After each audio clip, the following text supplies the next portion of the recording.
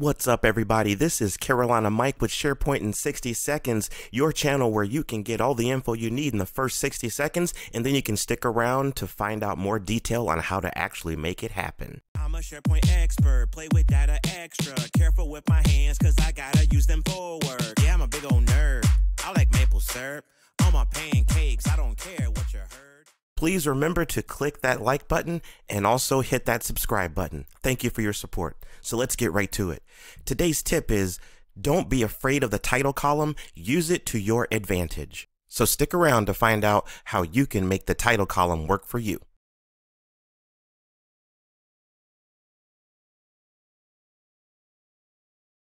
Okay, first thing, we're going to go ahead and fire off a new list because this is where you see this title situation happen most frequently is right when you're starting out with your list. So we're going to go ahead and uh, name this. Notice I'm not using any spaces. There is a method to that.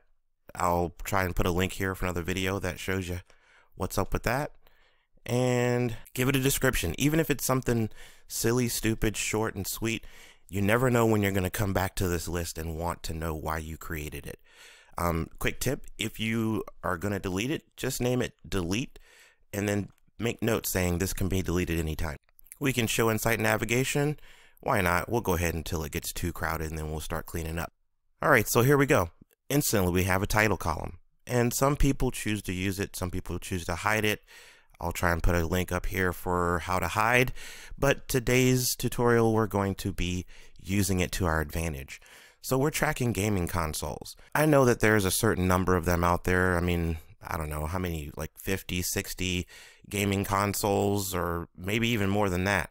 So you could go ahead and add a, uh, a choice, but then you've got to find out all of the different possibilities that there could exist in the world for gaming consoles that have been produced. That's a pretty big list. So why not, excuse me, why not ditch this and use the title column for that? So let's say I have a Super Nintendo, Sega Genesis, PlayStation, uh, PlayStation 1, 2, 3, 4, or 5. And a lot of people say, well, you know, it's not very useful. I mean, if we go here, take a look at it. Actually, we can't we can't change the settings from here in this modern drop down. So what we got to do, let's say we want to rename this, and that's part of the uh, tip too, is that you can use it because it can work, but you can also make it a little more appealing to your end users so it makes more sense. So instead of title, why not name this gaming console? Well, how do you do that? Well, we're going to go backstage here, take a look at the list settings, and we're going to go down here and click on title. Notice it is a single line of text, so um, which is exactly what we need for this because a gaming console name is not going to be all that long. Uh, we can choose to have it required or not, but here, we're going to go ahead and change the name we'll just say, you know, we'll be very specific. Name of gaming console. Or maybe model. How about that? We'll just call it model.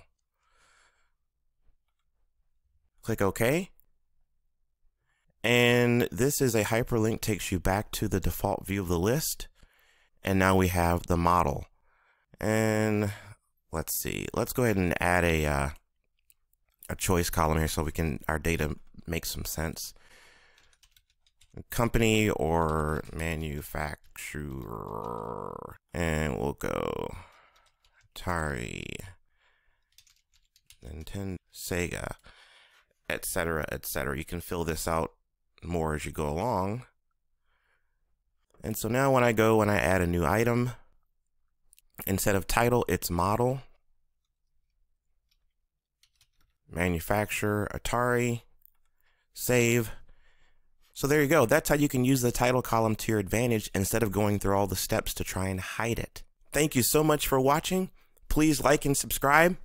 This is Carolina Mike with SharePoint in 60 seconds saying check back for more videos and SharePoint rocks and so do you. I'm a SharePoint expert, play with data extra. Careful with my hands, cause